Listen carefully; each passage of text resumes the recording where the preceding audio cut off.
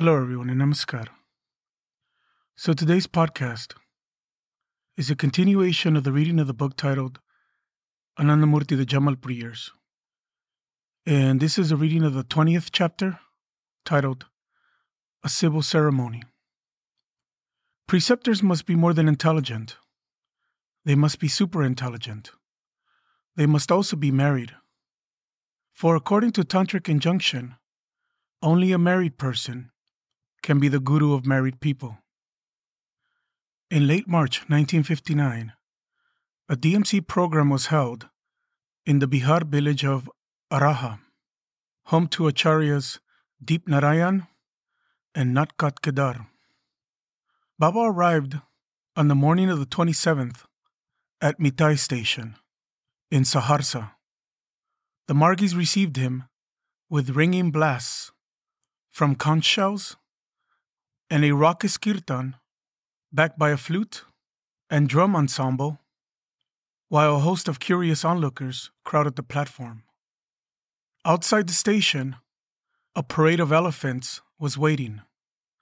Baba and Pranay mounted the lead elephant with the help of a bamboo staircase, and a huge procession set out for Araha, four kilometers distant.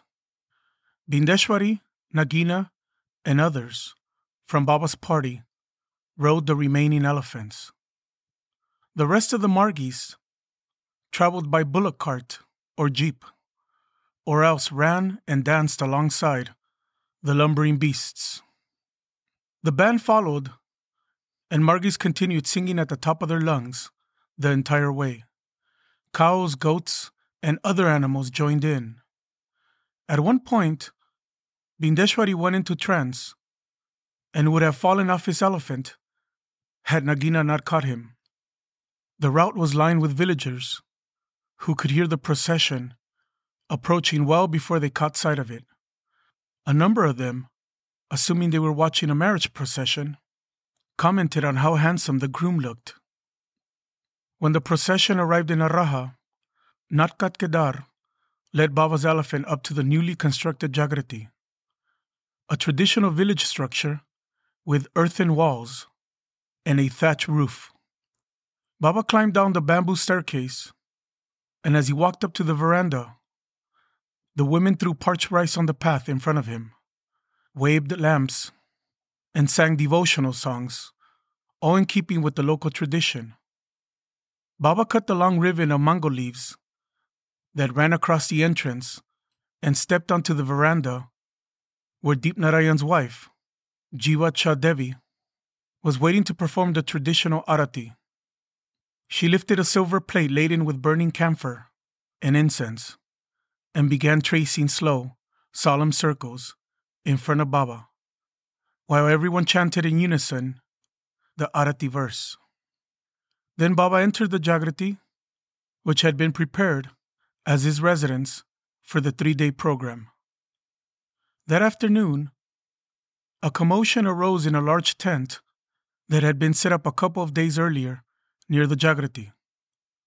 Members of the Ramnath Society, a fundamentalist Hindu group, started shouting anti Anandamarga slogans through a cheap loudspeaker.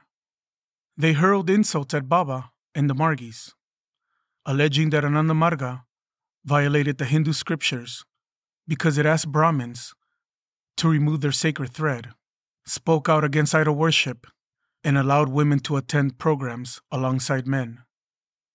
They were led by a renowned Hindu scholar from Benares, Bhayankar Acharya Shastri. When Baba heard the commotion, he came out of his room and asked the Margis what was going on.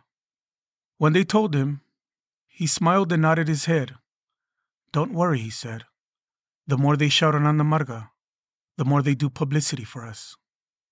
The next morning, Bhayankar Acharya issued a written statement challenging Anandamurti to a scriptural debate. A group of Margis brought the challenge to Baba. Many of them were angry at the ongoing insults coming from the Ramnath tent and were restless to take some kind of action. Baba listened and said, This kind of debate is for followers of the same scripture. Since we do not accept the Vedas or the Gita as proof, there is no question of a scriptural debate.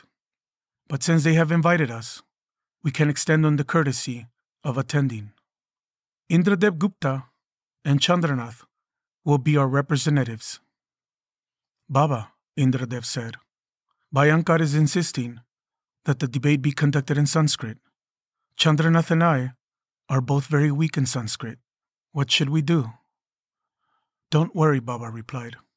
Tell him it should be in French, and then scold him in French for two minutes. Then Baba reached out and touched Indradev at his trikuti. The debate was fixed for midday. By the time the noon hour struck, more than a thousand people were sitting on the grass in front of the Ramnath tent. Baba was watching from the window of his room in the Jagrati. The four local pundits, who had been selected to serve as judges, sat on chairs to one side. Bhayankaracharya, Indradev, and Chandranath stood and faced the audience. As expected, Bhayankar opened by insisting that the debate be held in Sanskrit, the language of religious scholarship. Indradev immediately held up his hand. I object. The debate should rightly be in Hindi. Otherwise, no one in the audience will understand. Only the judges and one or two others will be able to follow the discussion. If you don't know Sanskrit, then why do you have Sanskrit verses in your books? Bhayankar shouted. Remove them from your books, or else debate in Sanskrit. Indradev looked back at Baba, who nodded from his window. Then he turned his attention back to Bhayankar. You want the debate to be in Sanskrit so you can befool the people. It might as well be in French then. Indradev followed with a long string of epithets in French. Though no one could understand what he was saying, everyone in the audience laughed, even the pundits. When the laughter died down, however, the pundits agreed with Bhayankar that the debate should be held in Sanskrit. Bhayankar began the debate. He put a question to Indradev that concerned grammar and its role in the establishment of a proof. Though Indradev's Sanskrit was rather sketchy, he understood the question. Fortunately, it was a subject with which he was familiar.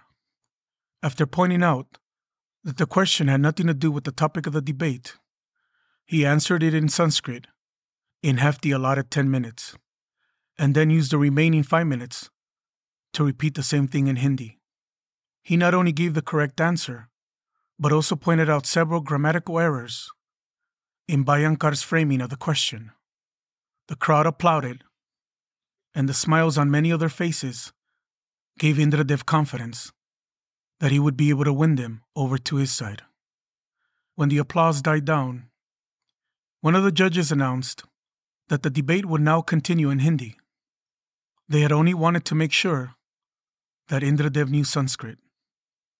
As the debate progressed, Bhayankar raised questions about the sacred thread, the caste system, and the equal rights of women to perform spiritual practices. Indradev, with Chandranath's help, answered each question with patience and logic. As he continued to win over the crowd, his opponent began losing his patience, often interrupting the Margis while they were speaking.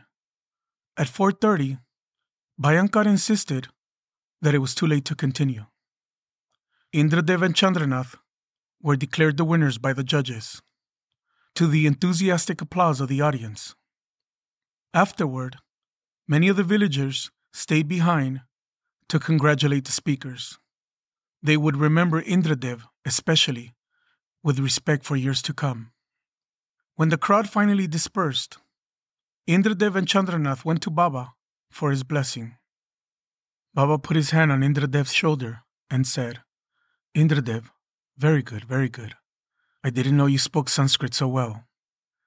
Indradev laughed. Neither did I, Baba. That was only your grace. You see, Indradev, they wanted to debate me, but my disciple defeated them. It was a good lesson for them.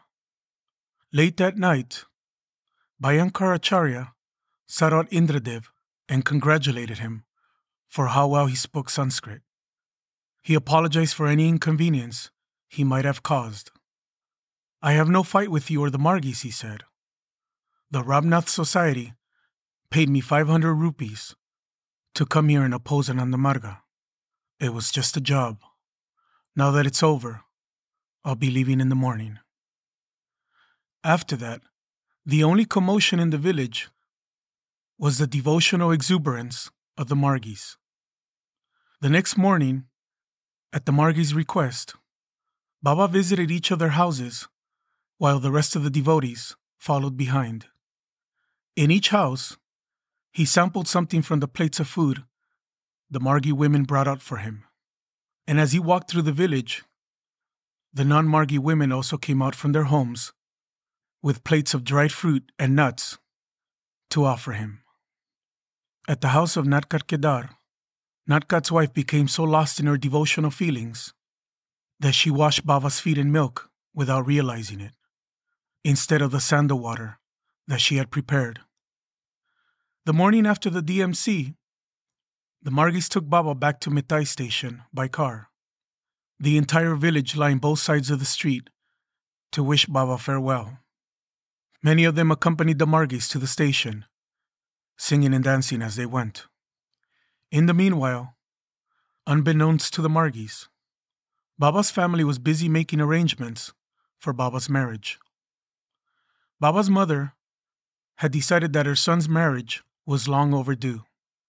Now that she was getting on in years, preparing to turn 60 without another female in the house, she needed a daughter in law to help her with her domestic responsibilities.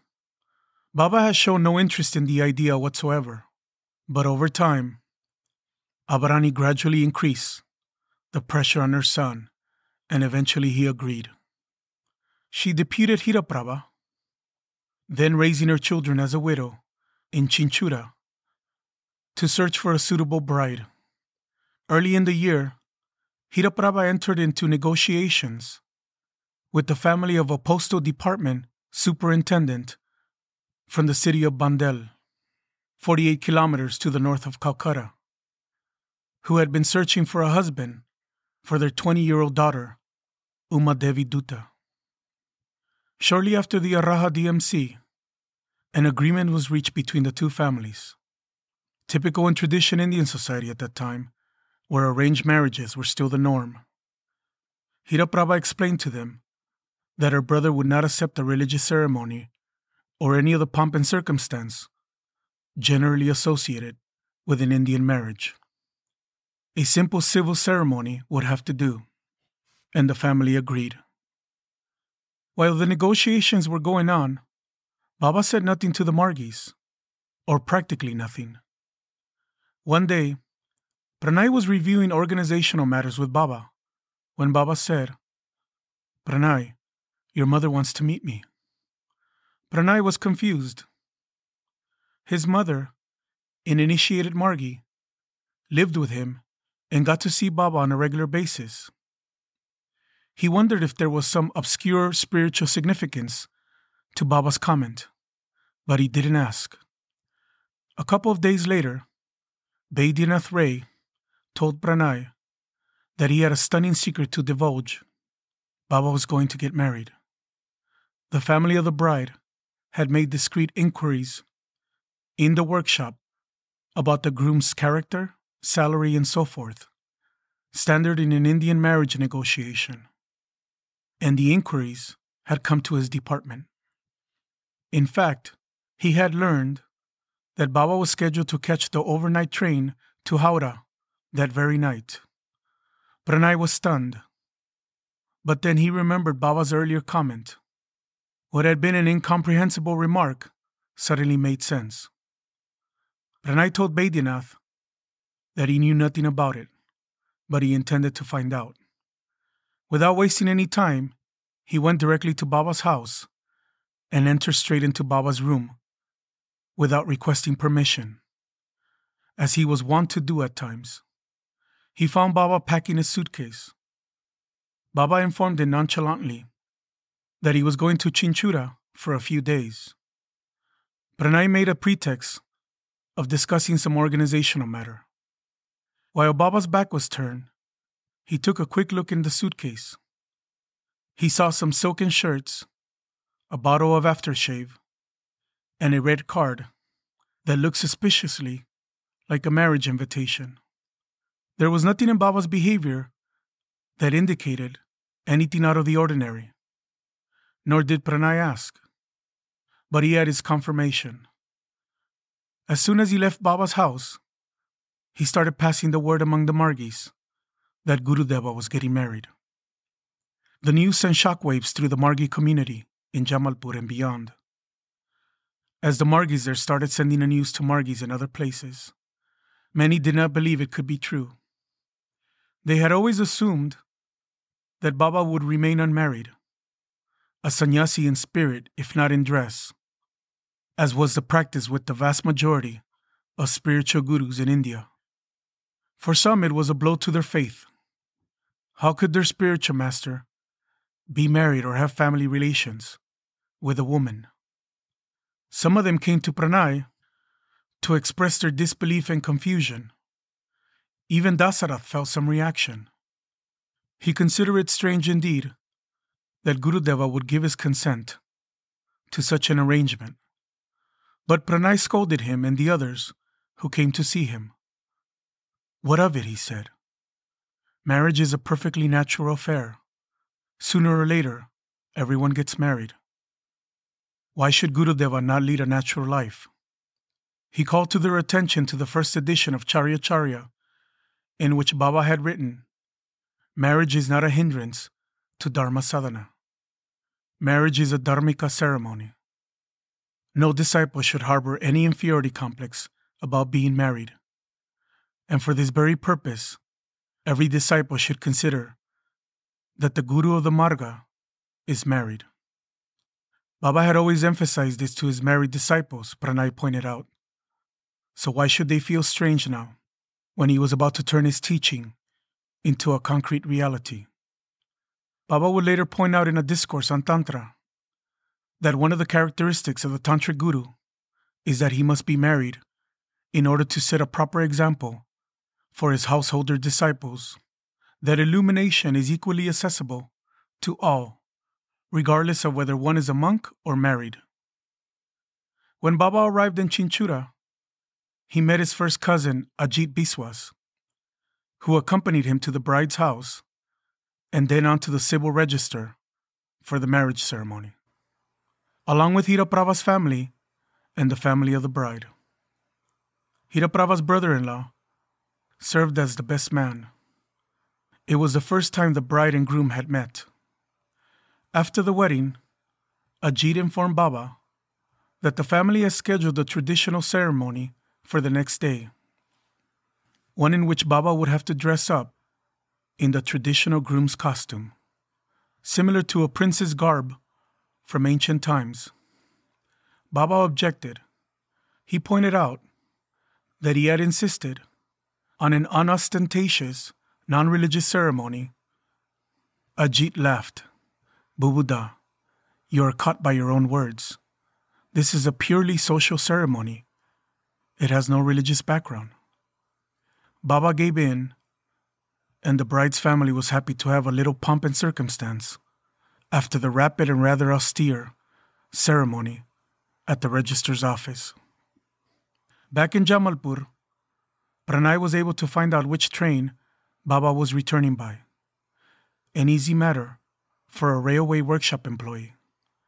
He, Chandranath, Ramaswarath, and some 50 other Margis met the train in Bhagalpur.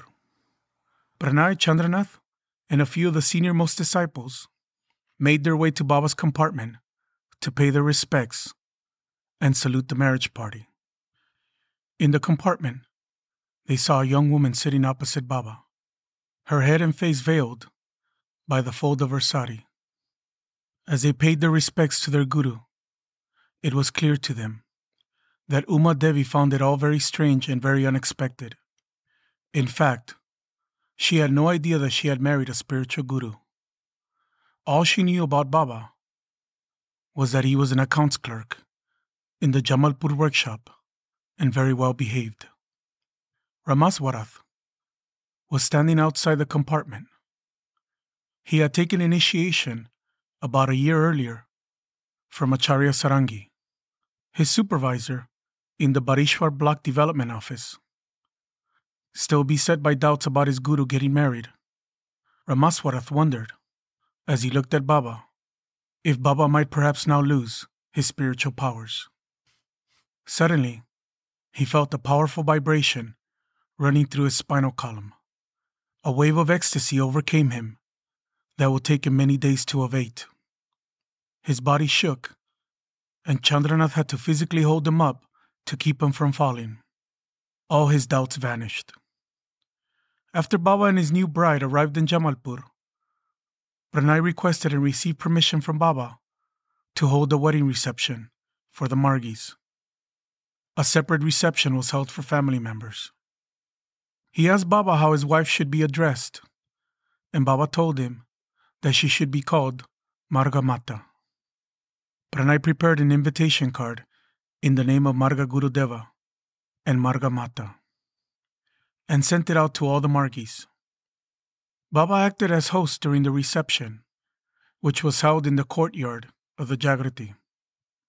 Some of the Margis straightway accepted Uma Devi as one with the Master, following a centuries old custom, and did Sastang Pranam before her at the beginning of the reception.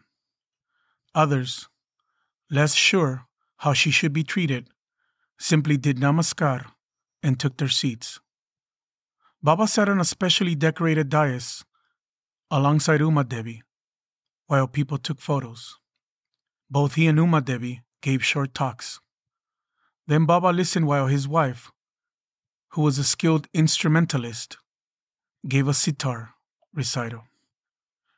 Afterward, he walked around and made sure that everyone was satisfied with the food, asking the guests one by one if they needed anything.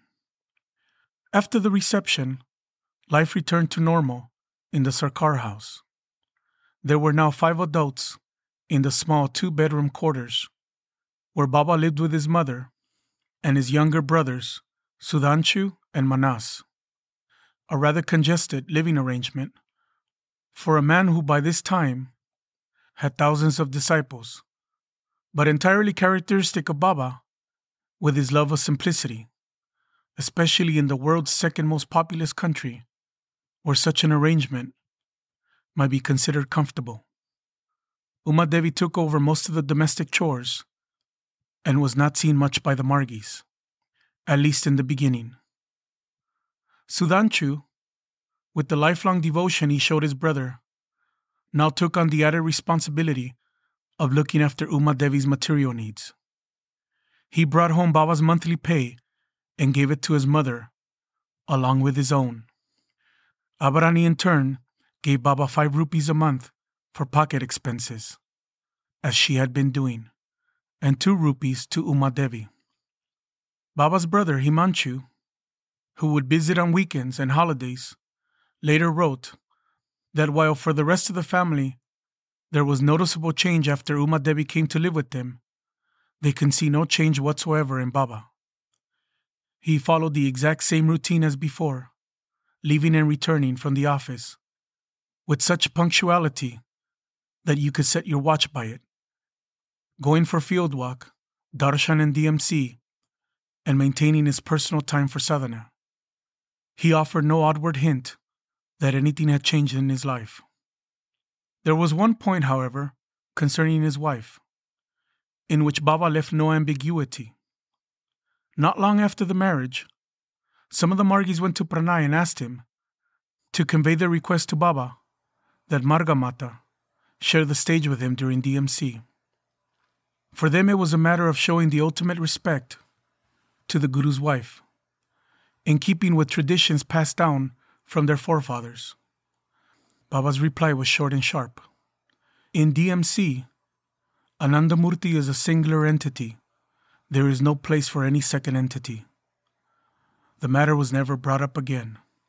Baba did give permission for her to address the Margis when he was not present on the stage. After that, from time to time, Pranay will arrange for Uma Devi to give a short talk at some point during the DMC program.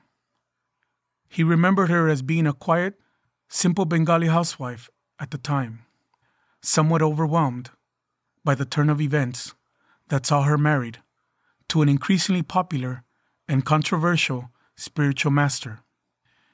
In fact, the first few times he asked her to give a talk, he had to coach her beforehand on what to say.